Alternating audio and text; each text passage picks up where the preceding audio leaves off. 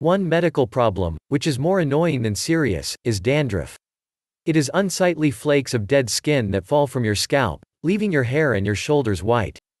Dandruff can be caused by hair products, eczema, psoriasis and shampooing too often, per the mayoclinic.com. Most commonly, people treat dandruff with medicated shampoo. Yet, more and more people are becoming interested in at home, all natural treatments and we have found one. Aspirin.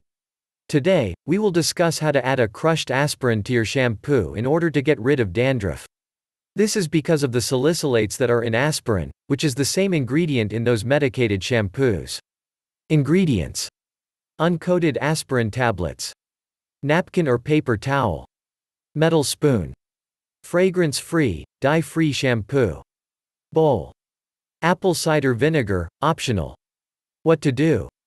First, take two uncoated aspirin and crush them onto a napkin or paper towel with the back of a metal spoon, or using a pill grinder.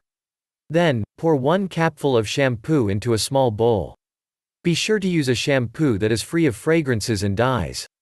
Dandruff can be made worse by perfumes, conditioners and other unnecessary additives. Now, add the aspirin powder to the shampoo and mix.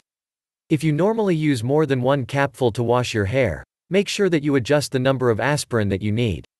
Stir the mixture very well and use it as normal shampoo to wash your hair. Be sure to leave the shampoo on your head for at least 5 minutes. Rinse the shampoo out very well. You can repeat this if you'd like. Also, you can add 1 half cup of apple cider vinegar to a large container of water and use that to rinse your hair. Apple cider vinegar also fights dandruff and it does not need to be washed out. The vinegar smell will leave as your hair dries. Do you, or a loved one, suffer from dandruff often? Do you normally use medicated shampoo? Give this a shot and let us know how it works for you. If you like the video, give it a thumbs up and share it with your friends. If you want daily hacks and facts about the human body, subscribe to BodyZone.